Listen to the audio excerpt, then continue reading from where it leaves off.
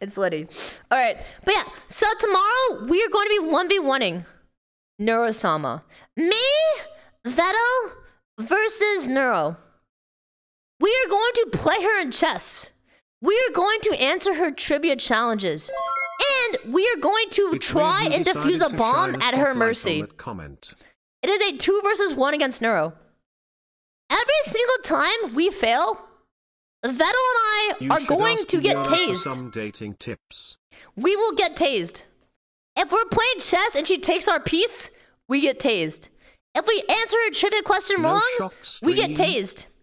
If the bomb goes off, we get tased. Whenever, whenever, Pluggy We are fighting Neuro to survive as best as we can.